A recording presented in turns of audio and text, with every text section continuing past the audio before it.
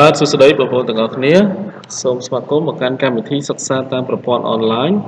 នៃសាលារៀនអន្តរជាតិអាមេរិកកាំងរីតបាទថ្ងៃនេះគឺជាថ្ងៃអង្គារ400ខែចេឆ្នាំជូតទស័កពុទ្ធសករាជ2564ត្រឹមថ្ងៃទី9ខែមិថុនាឆ្នាំ2020បាទយើងនឹងបន្តសិក្សាលំមុខជាតិរបស់យើងមេរៀនទី3រង្វាស់សម្ពាធនៃអង្គធាតុរាវ បាទកាលពីសប្តាហ៍មុនយើងបានរៀនមេរៀនទី2ឬក៏វីដេអូមុនរៀនមេរៀនទី2ការបញ្ជូនសម្ពាធនៅក្នុងសន្តានីបាទពាក្យសន្តានីរបស់យើងគឺសំដៅទៅលើអង្គធាតុរាវនិងឧឧស្ម័នបាទយើងក្នុងមេរៀនរបស់យើងគឺមាន9មួយគឺ S1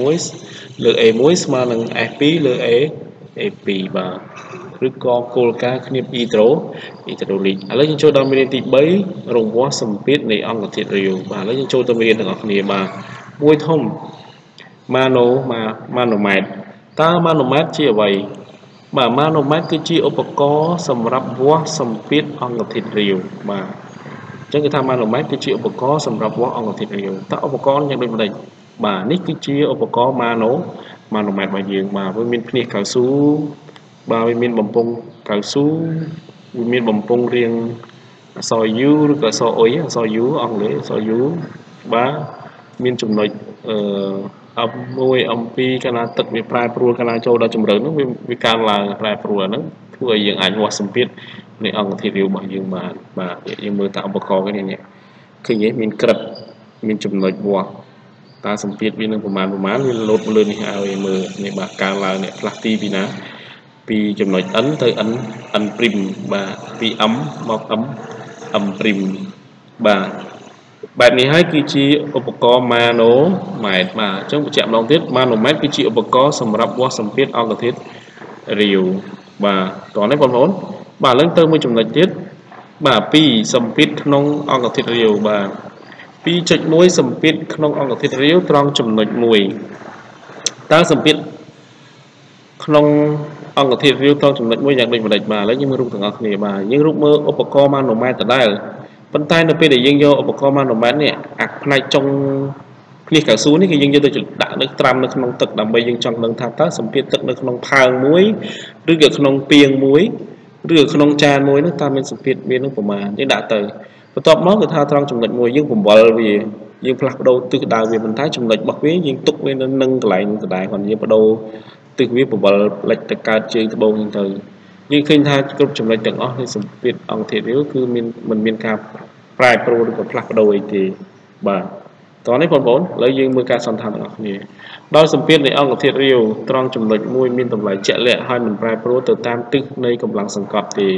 អញ្ចឹងដូចលោកគ្រូថាមកអញ្ចឹងបើសិនជាយើងយកភ្នេះកៅស៊ូទៅដាក់នៅត្រឡប់វាចុះឡើងត្រង់ចំណុចកន្លែងដដែលក៏តម្លៃវានៅតែជាក់លាក់ដដែលតោះនេះវាអត់ប្រែប្រួលទៅតាមកម្លាំងសង្កត់របស់វាទេបាទ នេះសម្ពាធក្នុងអង្គធាតុរាវត្រង់ចំណុច1បាទយើងទៅមួយទៀតបាទ2.2សម្ពាធនៃអង្គធាតុរាវនៅជម្រៅស្មើជម្រៅនេះគឺជម្រៅស្មើគ្នាណាបងប្អូនបាទជម្រៅស្មើបាទឥឡូវយើងចូលមើលរូបទាំងអស់គ្នាបាទបែបនេះជម្រៅស្មើគ្នាឃើញទេនេះមើលហាក់កម្ពស់របស់វានេះគឺជម្រៅរបស់វានេះគឺវាស្មើគ្នាទាំងអស់ពេលកាលណាបងអូនយកម៉ាណូម៉ែត្រតម្លាក់ អាអាភ្នេះវានឹងមកដាក់ប្តីរបៀបនេះក៏ជម្រៅវានៅប៉ុណ្នេះបើយើងមកបញ្ឈរនេះក៏នៅជម្រៅវាប៉ុណ្នេះហើយបើយើងផ្លាស់ទីផ្លាស់ប្ដូរកន្លែងដដែលចំណុចដដែលប៉ុន្តែជម្រៅវានៅដដែលក៏ជម្រៅឬក៏កម្ពស់ហាស់នេះនៅដដែលដែរនេះគឺឧបករណ៍ឲ្យវាស់បានប៉ុណ្ណឹងឃើញហាស់នេះអញ្ចឹងឯងបាទយើងមើលរូបរបស់គ្នាណាសម្ពាធនៃអង្គធាតុរាវនៅជម្រៅស្មើស្មើគ្នាឃើញទេបាទសន្និដ្ឋានថាម៉េចបាទដូចនេះនៅជម្រៅស្មើស្មើគ្នាទឹក បញ្ចេញសម្ពាធមានទំហំស្មើស្មើគ្នាគ្រប់ទិសទាំងអស់ហើយមិនអាស្រ័យនឹងវិមាត្រនៃផើងដែលដាក់វាទេបាទមិនអាស្រ័យនេះផើងនេះផើងធំផើងតូចក៏ដោយក៏នៅជម្រៅស្មើគ្នាសម្ពាធហ្នឹងក៏វានៅតែស្មើគ្នាដដែលតោះនេះបងប្អូនបាទបាទតោះទាំងអស់គ្នាណាបាទអញ្ចឹងម្ដងទៀតនៅជម្រៅស្មើគ្នាទឹកបញ្ចេញសម្ពាធមានទំហំស្មើគ្នានៅគ្រប់ចំណុចទាំងអស់ ហើយមិនអាស្រ័យនឹងវិមាត្រនៃផើងដែលដាក់វាទេបាទផើងដែលដាក់វានឹងមានថាវាជាចានដូចជាធុងឬក៏ជាអឺឬក៏ជាពីងអីហ្នឹងយើងដាក់ហ្នឹងទៅគឺសម្ពាធនៅជំរឿវាស្មើស្មើគ្នាបាទដដែលបាទអញ្ចឹងវីដេអូរបស់យើងគឺមានប៉ុណ្ណឹងបាទអរគុណ